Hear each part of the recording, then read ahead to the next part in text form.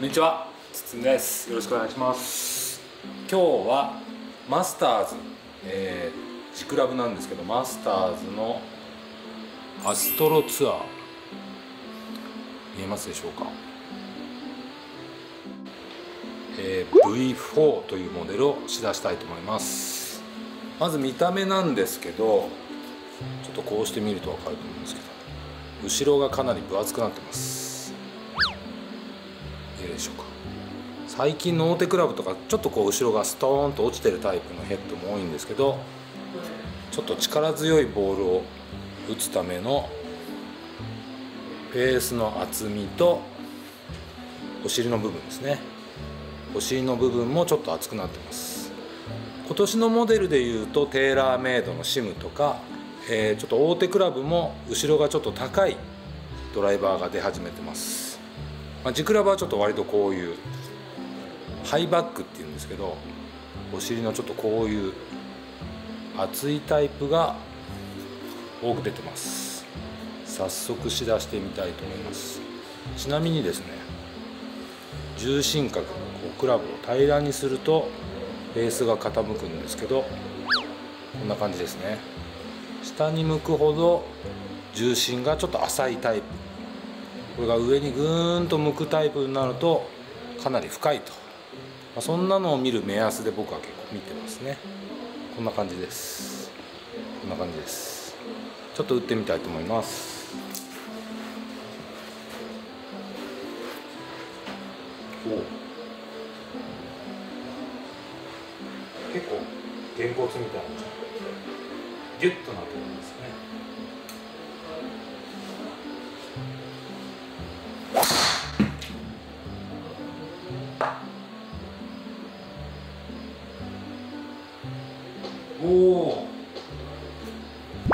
捕まり損なりましたけど初速が結構速いんじゃないですかね。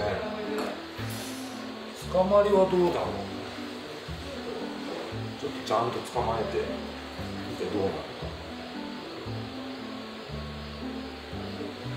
かやりすぎた。ちゃんと捕まりは出ますね。シャフトは S シャフト結構しなりもあります。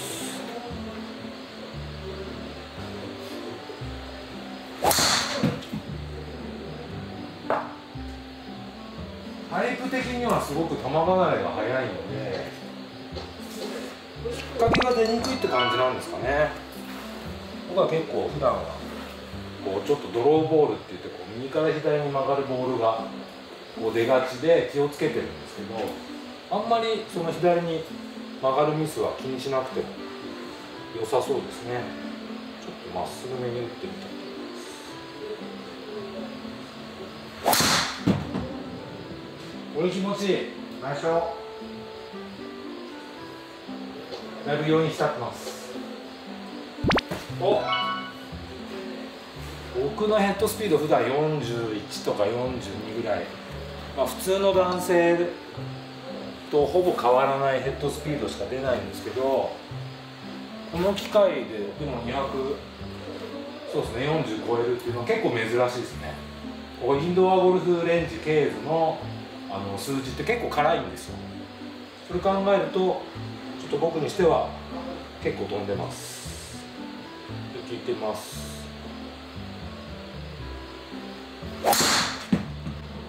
これめっちゃいい当たりですけどね。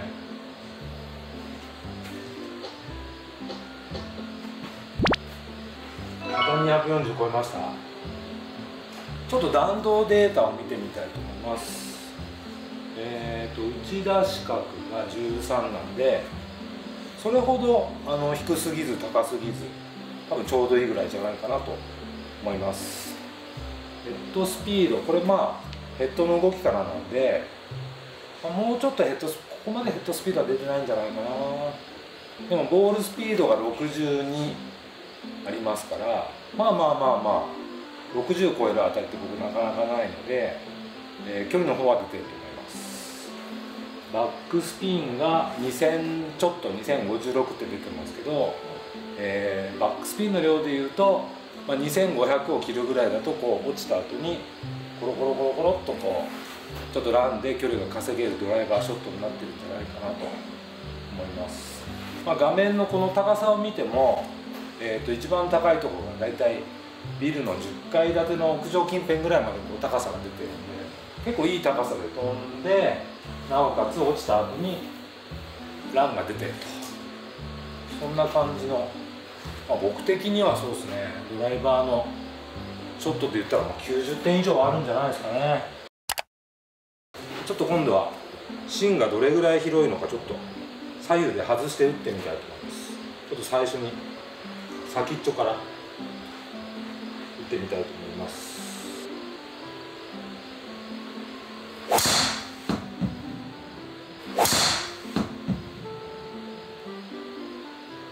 と右に抜けましたけどでもあんまりこう大きく曲がることなくちょっと右かなって感じです。今度はこのヒールのところですね。こっちの端っこで打ってみたいと思います。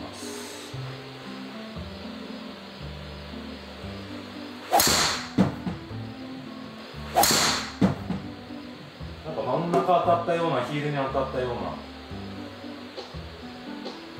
ちょっとボールが低くなったんですけどやっぱ厚みがあるせいかこの左右外側も内側も厚みがこう均一に近いんであんまり左右のこう打点のばらつきが出てもぶれないですね。今度はちょっと上下やってみます。今度はちょっと下から下からいってみます。前にアルバで、えー、フェアウェイウッドでトップばっかり打たされたことありましたけどちょっとトップ目に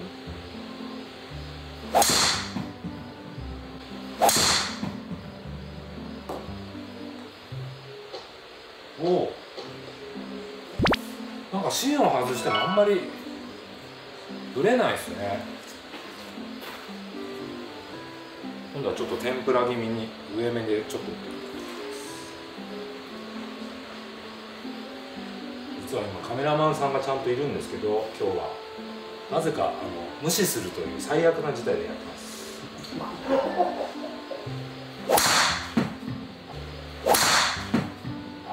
こまで天ぷらしたらやっぱいけないんだよな。なるほど。でもなんか手に衝撃が来るわけじゃないんでこのヘッドすごくなんか前側が強いですねちょっと最後に自分の感覚で打ってみたいと思います。こ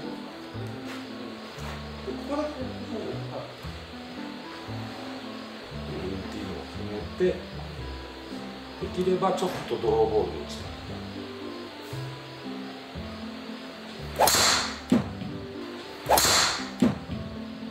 あちょっとかかりすぎたけどでも平均してボールスピードも距離も出てますんでこのアストロツアーというドライバー 460cc でちょっと見た目はちっちゃくギュッとこうなってるんですけどこのヘッドは僕は飛ぶと思いました。是非皆さんも、えー、試してみてください。つつでした。ありがとうございます。